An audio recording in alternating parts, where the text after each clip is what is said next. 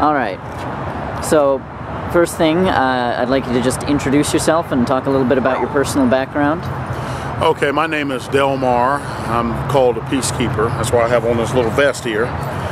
But uh, I, um, my first involvement with any of the occupation started in Seattle. Uh, and it was one of those situations to where I really was just praying over the people. I didn't want any kind of violence or anything to to really hurt anyone. Uh, I didn't want any business damaged or anything like that. So I just lent my help where, wherever I could to make sure that uh, what I was involved with and the people that I was around, that it stayed peaceful as possible. Uh, so that's how I got eventually started with Occupation Seattle. And I was there for a little while. Um, uh, that ended up in a trip to Occupation Olympia, uh, which I was there for about maybe two and a half weeks. And I do believe that some very wonderful things happened at the occupations. Uh, some growth and some things that needed to change got changed. But I ended up here where I think I was supposed to be. And this is Occupation Park. This is Occupy Tacoma.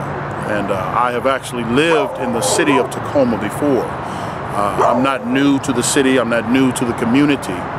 Um, there's a lot of the religious community that know me uh, here and as, as also uh, the other part of society, uh, they know of me too. I had an apartment up here uh, just across from Bates College for about a year or so here in Tacoma. Um, and I do believe if there was anywhere that I would buy a house, it would definitely be in Tacoma throughout any of the cities that I've been in the Pacific Northwest. So uh, I hope I answered that question uh, pretty thoroughly. But I do also know that uh, this voice and this We Are the 99%, that it is a very good thing that I see happening. I do believe that it is history in the making. You know, we as not only Americans, but just people in general, we're able to have a say. We're being heard in the type of issues that we think or believe or in our opinion that are important you know uh, we can bring them to the table and at least have a voice. You know that does a lot just right there. That's a lot of change because when people can release frustrations when they can release anger you know uh, that gives us an opportunity to just sit back and really think about it and say well you know maybe I need to change this or do this or uh, maybe my opinion wasn't quite right. So you have an opportunity to search it out and let that steam off.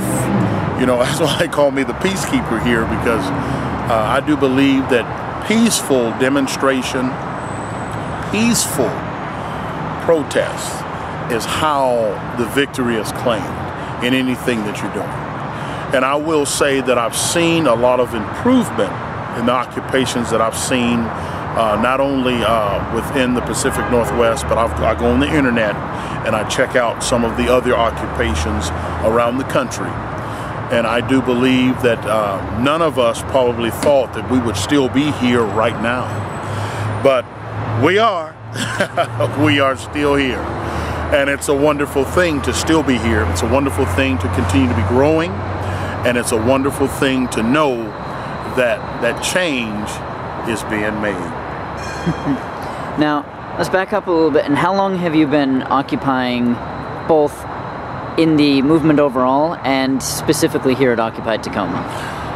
Yes, I'll start with Tacoma. I've been here in Tacoma maybe about eight days now. Um, and if you kind of add it up there, three weeks, about three weeks in um, Occupy uh, Olympia, and right at about a month, almost a month and a half at Occupy Seattle. That brings us right to the beginning dates of where we actually started. So uh, I do believe this experience uh, was very good for me in learning because before I had never been involved with any type of protest or demonstration in my life. But I felt such a, a compelling, just a strong you know, spirit in me to get involved with this. You know, this is something that is good. It's something that will cause change, and it's something that I believe our nation was waiting for. Uh, I, I, do remember one lady said, um, uh, I believe I was at Occupation uh, uh Tacoma? Yes. The lady came up and she said it was it's really good to see you Americans finally waking up. and I said, wow, you know, that's a really good thing because I don't know if we understand, we as America, we're being watched, you know, by the rest of the world or how we react to things, what's going on with us, because we do live in one of the most powerful nations in the world. So the people of this nation are important as far as the world view of the nation's people. Uh, and we do, we have seen in international news that there have been uprisings within other nations even before anything like this has started. But I like to think of the occupations here as not as an uprising. Uh, uh, that's why we use the words protest and demonstration because it's within our laws that we have a right to do this. So it's not something that we're doing that's illegal it's not something that we're trying to be troublemakers. It's not something that we're trying to destroy something. That's not my intentions.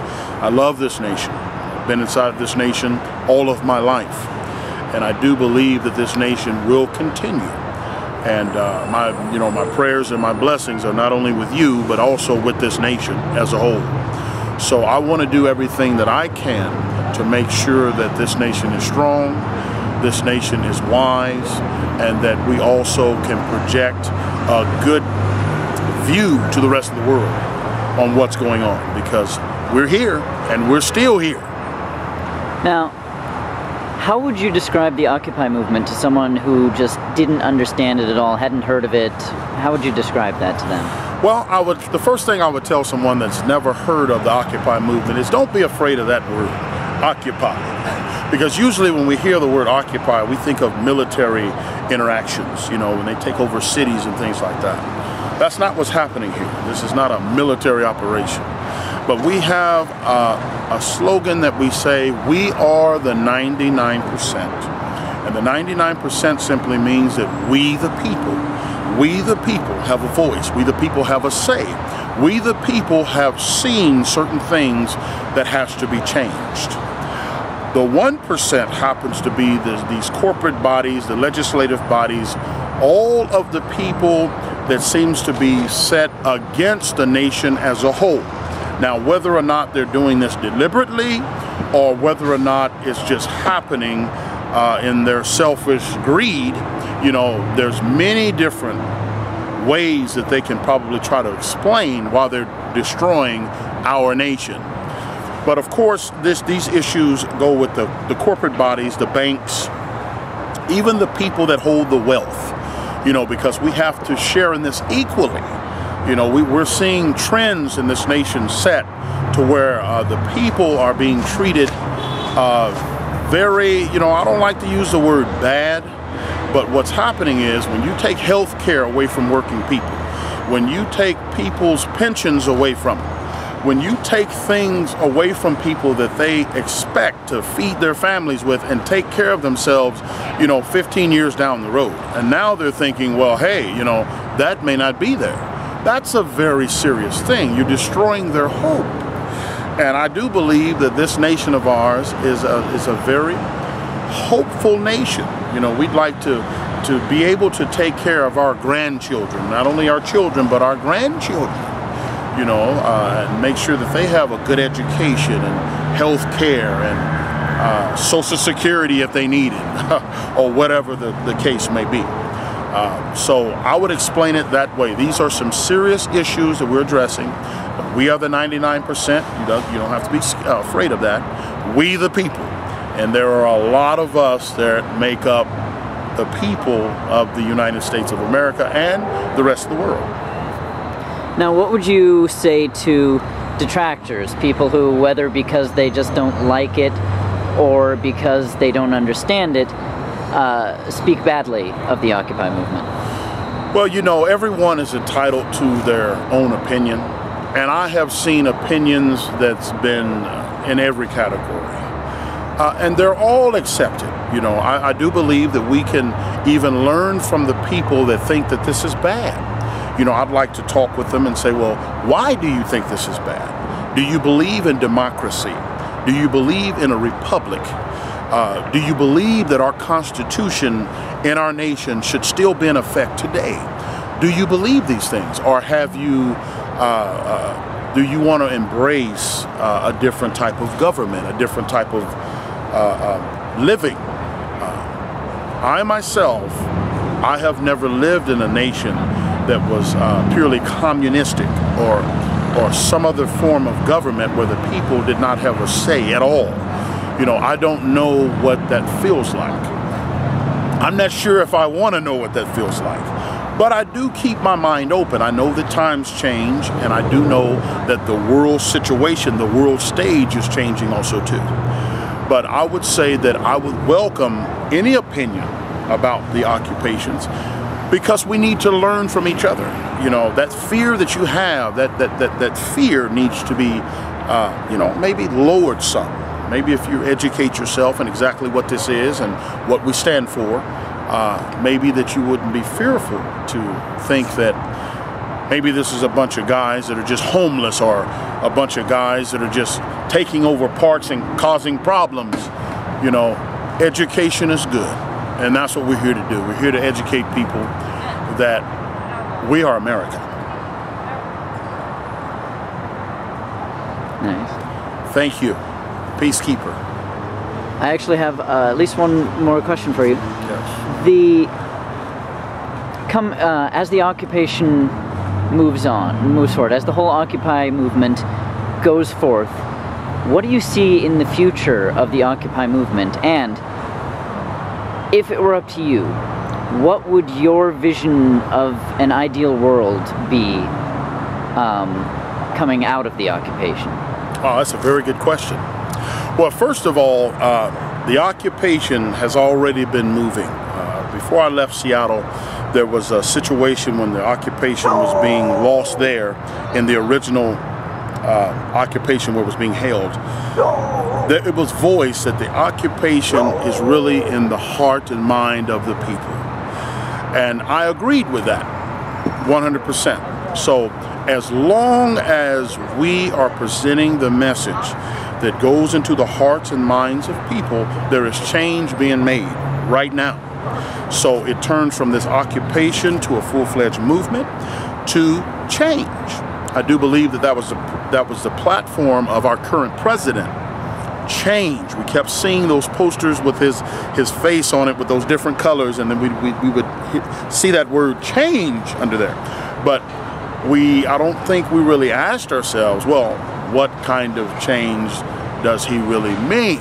So I do believe now that what's happening as far as the occupations, that it is already in a full-fledged movement right now not only within the United States, but also around the world. And if I had anything to do with it, which I think I might have a little bit to do with it, I do believe that this is democracy rising up again. It is the spirit of America arising up in its people, and not only the people that are here, but also the people all around the world. We are giving them a very good message that democracy is alive and well, and that also it is good. Now, there are parts of capitalism that, that, that some of us feel that maybe has failed or maybe doesn't work. But the one good thing about it is we can work it out. It is something that these problems that we have, they're being dealt with. We're talking to other people and, and we're, we're exchanging ideas and we're coming up with solutions not only for the occupations, but for the communities that we're in, the cities. Uh, and I see change all over the place. So, in my view, I do believe that we are successful already. The victory is in, it's in full swing. And it is in the hearts and minds of the people. We the people. We the people. Thank you. You're most certainly welcome.